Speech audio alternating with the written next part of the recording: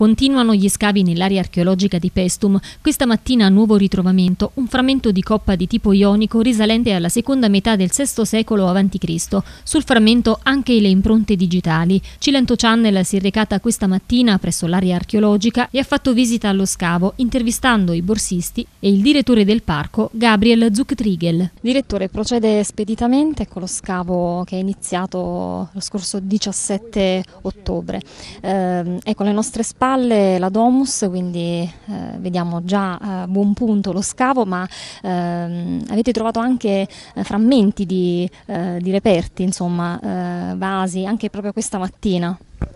Sì, ehm, esce materiale eh, ancora di strati rimescolati, quindi stiamo cercando di capire la stratigrafia, la successione, la sequenza dei, degli, degli, strati archeologici, quelli più antichi ovviamente sono più bassi, noi vogliamo vedere quello che c'è sotto questa casa romana, vediamo alle spalle il tempio di Nettuno, intorno un abitato di epoca romana,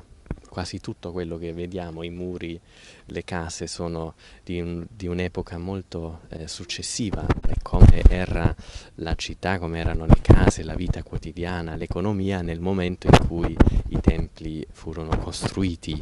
e questi materiali alcuni sono più recenti, alcuni sono proprio di questa fase. Intanto questo scavo ehm, è aperto, quindi i visitatori possono arrivare qua direttamente o qua possono vedere quello che accade. Ogni giorno alle 12 facciamo una visita accompagnata, eh, quindi ehm, è un'attività di ricerca, però anche una cosa che vogliamo condividere con il pubblico.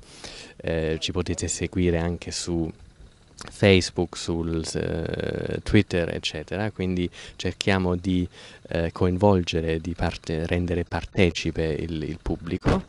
e, ehm, e, penso che così dovremmo fare anche per eh, altri scavi che, che vogliamo fare come museo, ma anche con le università. Ricordiamo infatti che eh, la prima domenica del mese ecco, c'è l'apertura gratuita proprio degli scavi del, dell'area archeologica e quindi invitiamo i telespettatori ecco, a recarsi proprio eh, a Pestum per eh, ecco, prendere visione di questo scavo eh, che durerà fino, vogliamo ricordarlo direttore? Durerà mh, 5 settimane. Ehm, chi ehm, vuole venire la prima domenica ovviamente come sempre gratuita, però noi abbiamo anche un abbonamento a costo di 15 euro che permette l'ingresso per un anno intero dal momento in cui si attiva e quindi chi vuole può venire ogni giorno e vedere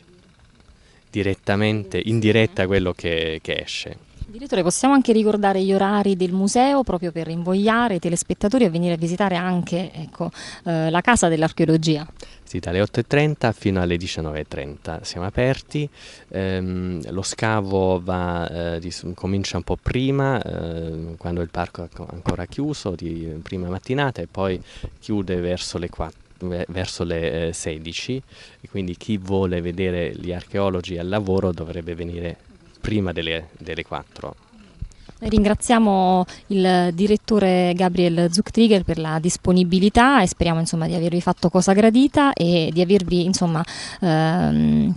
eh, mostrato un po' di curiosità e quindi eh, che cosa aspettate? Venite all'interno del parco archeologico di Pestum ecco, per venire a vedere con i vostri occhi quello che sta insomma, avvenendo. In compagnia dei due borsisti Francesco e Francesca per ecco, fare un aggiornamento per voi telespettatori. Allora Francesca, ehm, raccontiamo un attimino ai telespettatori, ecco, mh, mm, scendiamo un po' nel tecnico di questo scavo, perché avete scelto proprio questo punto?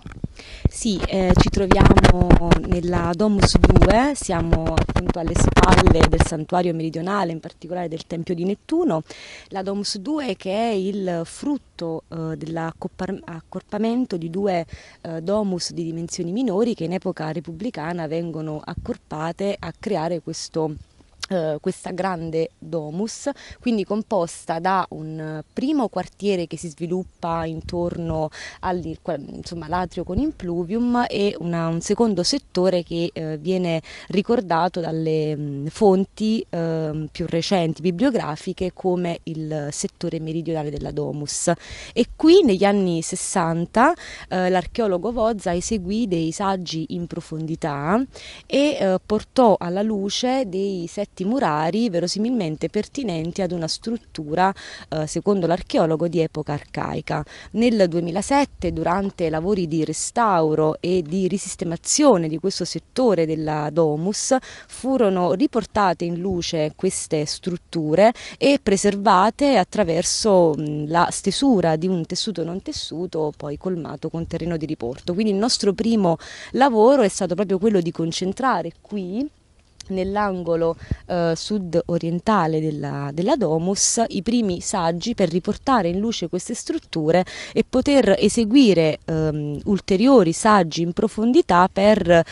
come dire, sistemare e riordinare anche ehm, la cronologia di queste, di queste evidenze. Allora, in effetti sono una serie di testimonianze strutturali murarie che si riferiscono a più fasi di vita di questo ambiente eh, domestico, presumibilmente domestico.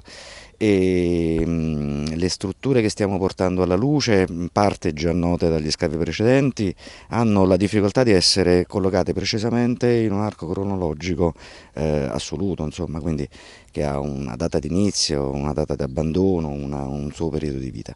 Eh, altro problema è legare tutte queste strutture che si mm, coprono, si, si, si, si tagliano, si intersecano, si incrociano l'una con l'altra a diverse funzioni, a diverse dimensioni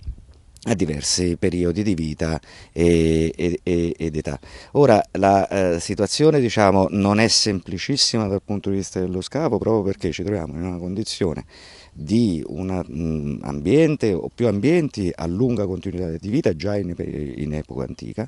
eh, su cui poi si sono concentrate diverse attività di scavo. Quindi il nostro obiettivo è eh, riformulare topograficamente eh, nel corso del tempo le variazioni delle strutture che stiamo recuperando, una, dare loro una funzione e poi insomma, verificare su una scala cronologica assoluta le varie epoche ed età di vita. Quanto in, profondi, in, profondità scenderete con lo scavo? Scenderemo fino al, al termine della stratigrafia utile che ci, potuto, che ci può eh, conservare delle informazioni di tipo archeologico. Quindi termineremo lo scavo una volta che raggiungeremo il banco di travertino di base su cui poi è stata costruita fin dai tempi iniziali la colonia di Pesto chiudere diciamo, questo quadro molto introduttivo della condizione iniziale di questo scavo è che eh, le fasi più antiche ovviamente noi eh, tentiamo di collocarle anche eh, in un quadro topografico generale di Pestum eh, quindi nell'impianto urbanistico eh, iniziale che venne eh, costruito contestualmente diciamo, da altre opere pubbliche e private della, della città.